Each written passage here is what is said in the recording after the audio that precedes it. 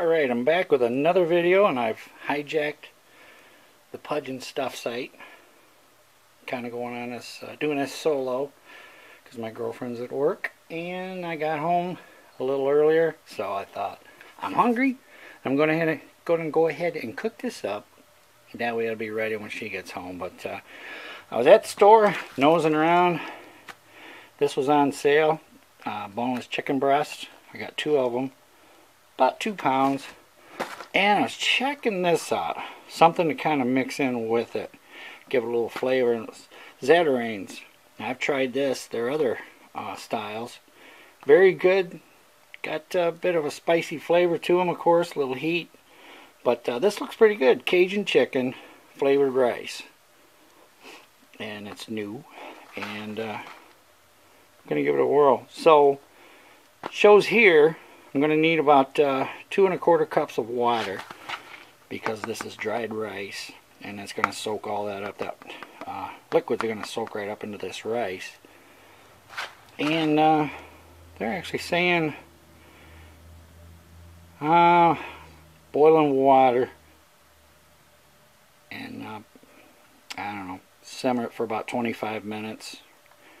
But you know what? Think I'm gonna go because this chicken is not frozen. And oops and also I'm putting some pinto beans in there. Kind of give it a little fiber action. It's reduced sodium um, because this right here I'm sure has packed with some salt so um, anyway. The only reason I'm going to cook this for about 12 minutes is just because of course to cook the chicken up because like I said it's not frozen I figured about 12, 12 minutes on, I don't know, I'll go 15, 15 on this because I'm going to chop this up a little bit and it'll cook a lot faster. And of course really a lot of it has to depend on this uh, rice because it's got to absorb all the moisture and cook up too. And usually if you're just cooking rice usually set the pressure cooker for about 8 minutes and it comes out pretty darn tender but uh, because I have the chicken like I said I'm gonna go 15 that's what we're gonna do. So I'm gonna get this all prepared and I'll be back in a few minutes.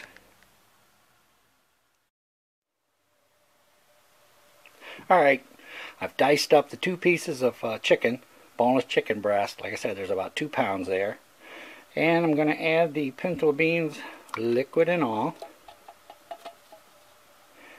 and uh, says two cups of water but I'm putting in two cups of chicken broth because I had some left over from a past recipe that I made. So I had a little bit of that left and now we're just going to toss this in.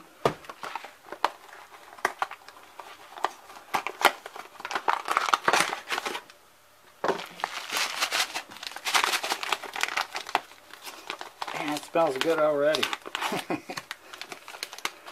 Okay.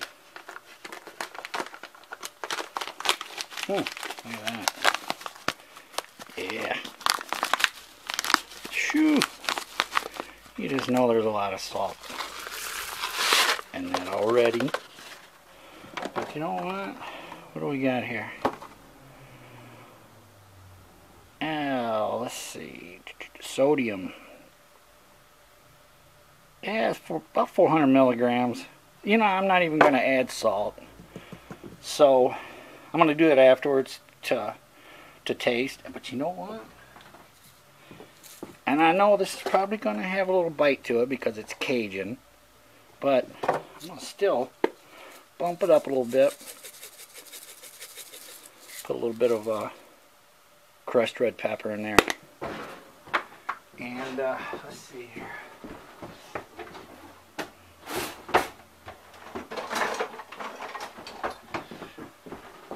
Use this to stir it up. This thing's great for tearing the chicken apart once it's all cooked up because it's so tender.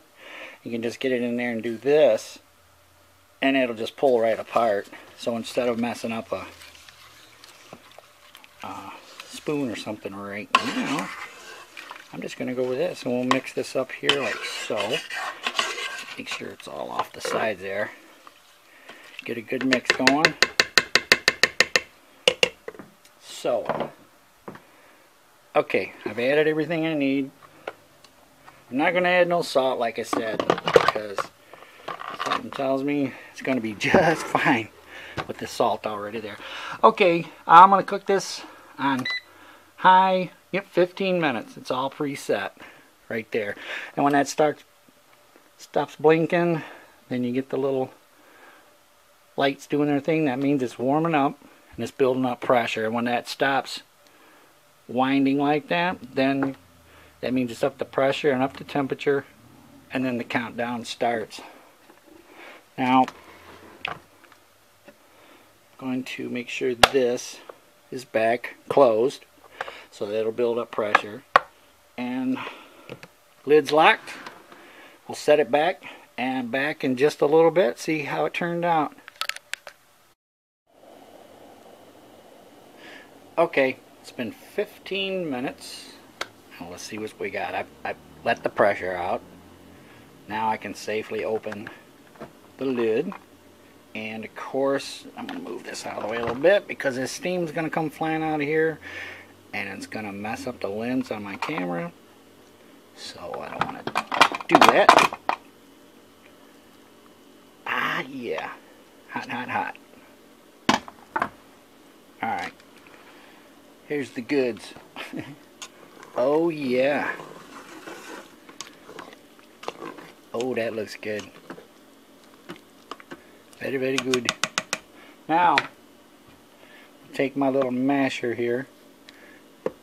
And, I don't know, you could leave it chunky, but hey, I just kind of prefer it to be smashed up a bit because actually I am going to make a wrap with it. Oh boy, that smells good. There we go. I don't want to get too carried carried away, and I don't want to smash up the uh, pinto beans, so take care serrated so I can just get the good stuff and not liquids, and I'm going to put it on this wrap. In fact, I'm going to move this over here a little bit. Put this wrap down.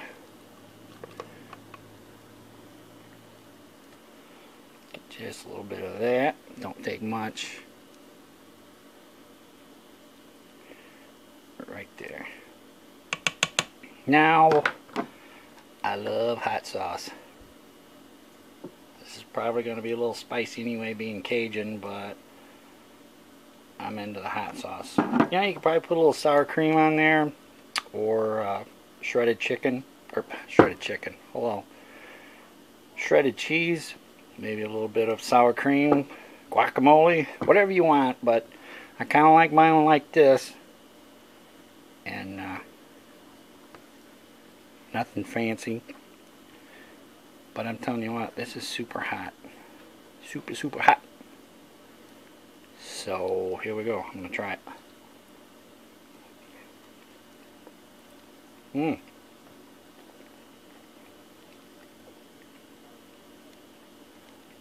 Good stuff. Alright, that's it. There's another quick, easy one for you to try. Hey, give it give it a whirl, see what you think. You know, this just starts you off.